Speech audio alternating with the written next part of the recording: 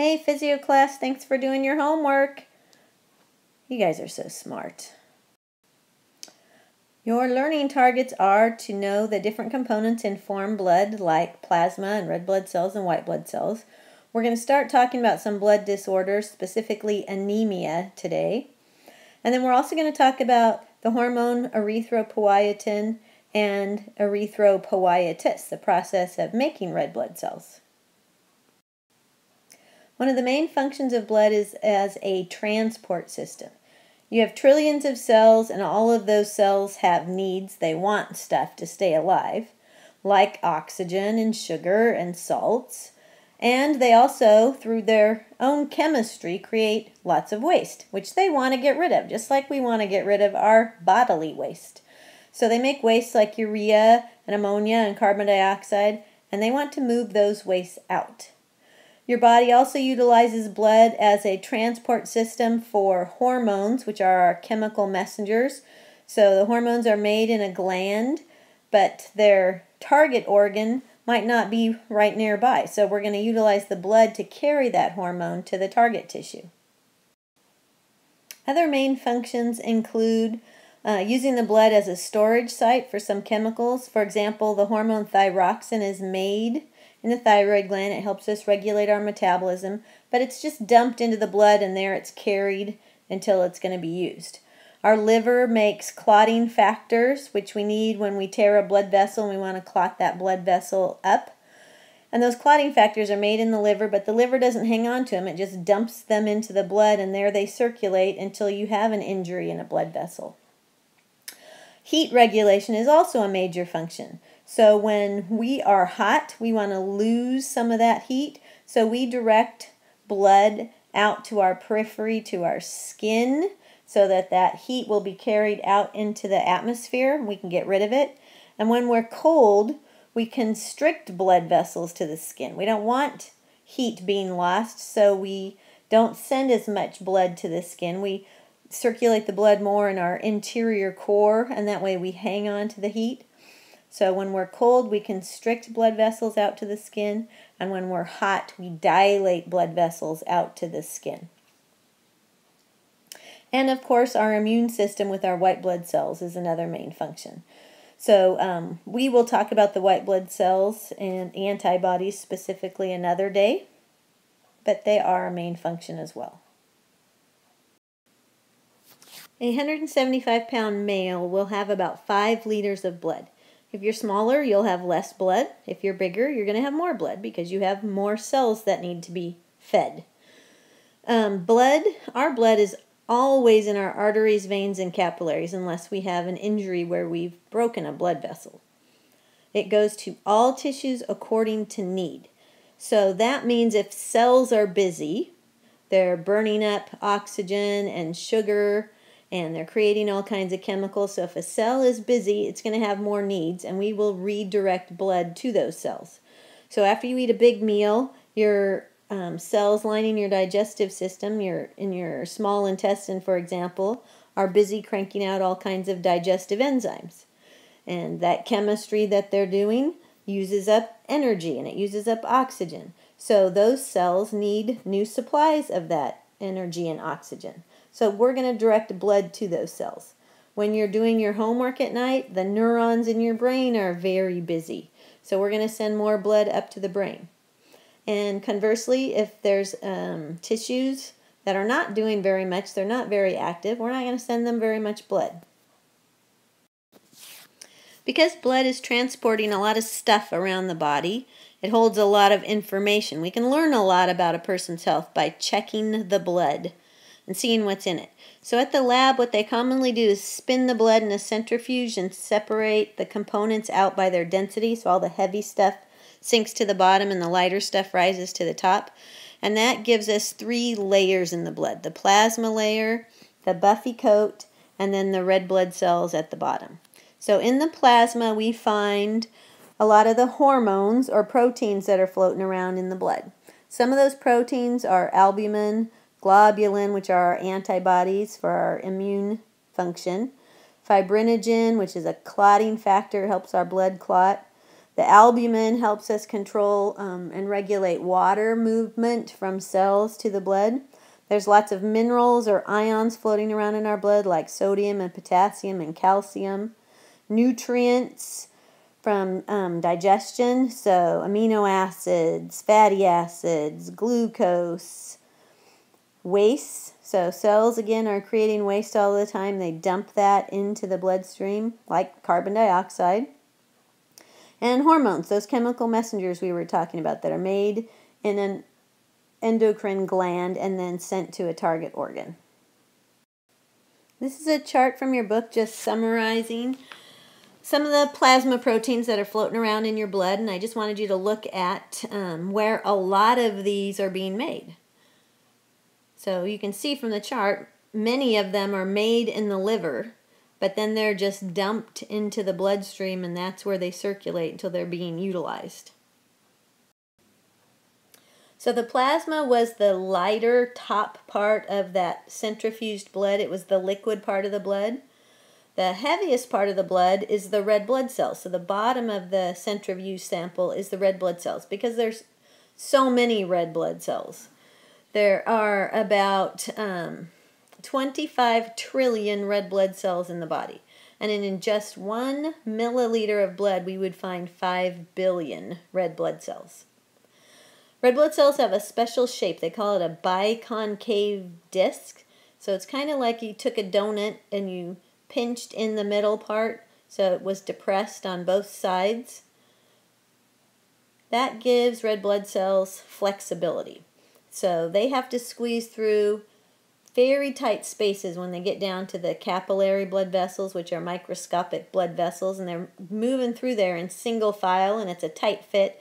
So their shape um, helps them to squeeze through. They are 30% hemoglobin, which is the special pigment that carries oxygen and carbon dioxide. Um, they don't have a nucleus part of the reason they don't have a nucleus is nuclei are big. And again, they have to squeeze through very tiny blood vessels, those capillaries. So we want them to be small cells. So no nucleus means they get to be smaller. But unfortunately, without a nucleus, they can't divide and reproduce. So they don't have a very long life. They only live about 120 days. And um, they accumulate damage as they're traveling around through the body and getting bing, bang, bing, banged against the walls of blood vessels. So, about 120 days, they're um, worn out, tattered, torn, linking their contents, and they need to be replaced.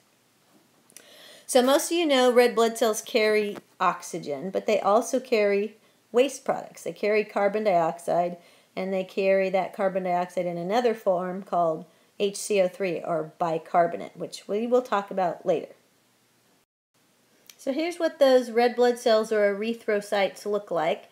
So you can see how they're dimpled or pinched in in the middle. I told you that that helps give them flexibility. That's true, but it also helps um, create a larger surface area. So we want these red blood cells to carry as much oxygen as they can. So if we give them a larger surface area, they can have more hemoglobin pigment and they can carry more oxygen. Suppose there were only one red cell in the entire system. Suppose you could travel with that cell as it makes just one of its circuits. You are here in the right side of the heart. Your journey begins with a heartbeat. Your first destination is a lung. Capillaries in the lungs lie right next to extremely thin membranes. Through these membranes pass oxygen and other gases. The membranes make up millions of air sacs. When we inhale, the air sacs fill with fresh air.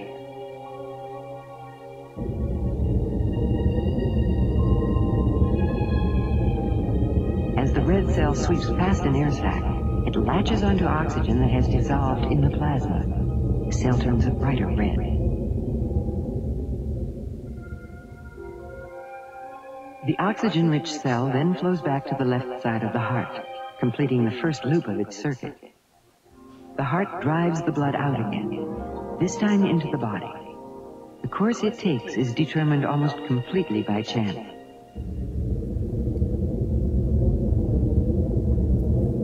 The red cell will release its cargo of oxygen only in a capillary, and only when the cells surrounding the capillary have less oxygen than the blood had.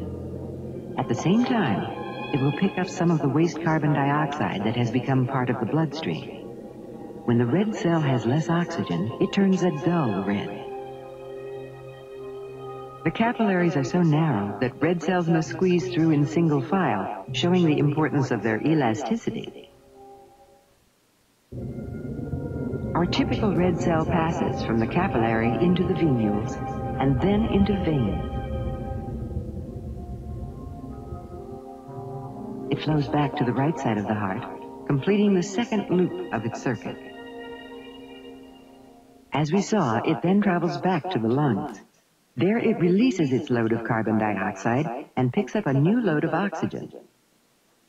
The cycle begins again to continue for the life of the cell.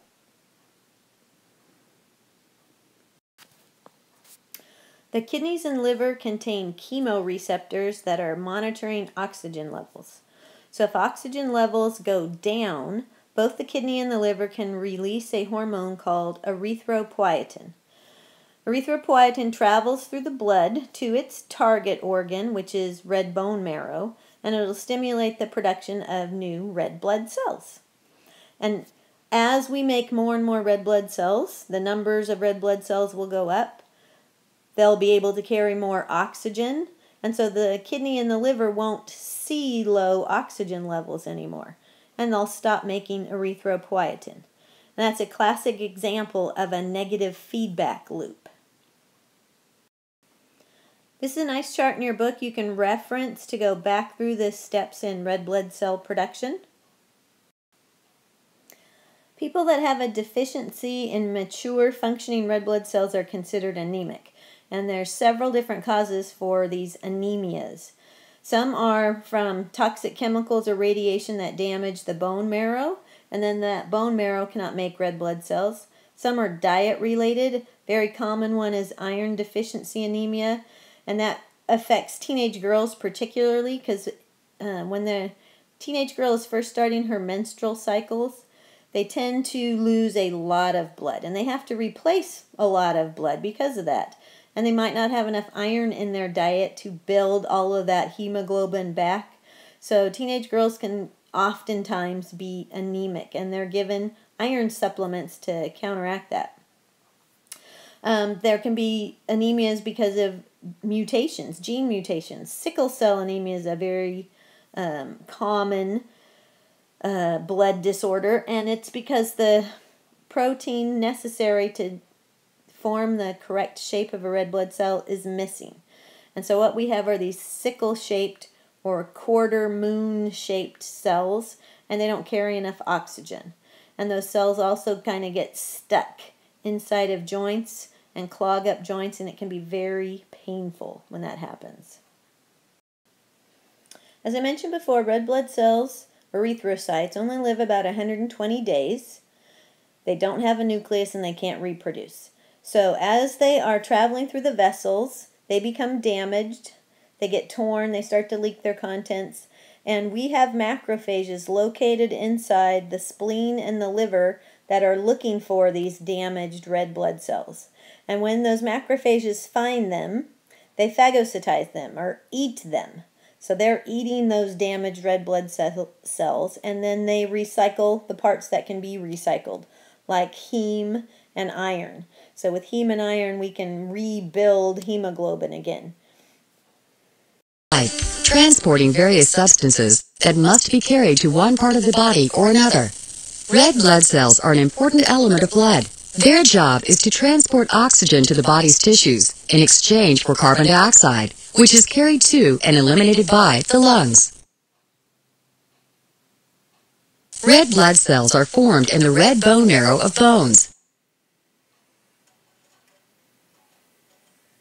Stem cells in the red bone marrow, called hemocytoblasts, give rise to all of the formed elements in blood. If a hemocytoblast commits to becoming a cell called a proerythroblast, it will develop into a new red blood cell. The formation of a red blood cell from hemocytoblast takes about two days.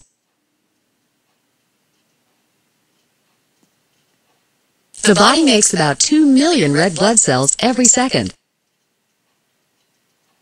Blood is made up of both cellular and liquid components. If a sample of blood is spun in a centrifuge, the formed elements and fluid matrix of blood can be separated from each other. Blood consists of 45% red blood cells, less than 1% white blood cells and platelets, and 55% plasma.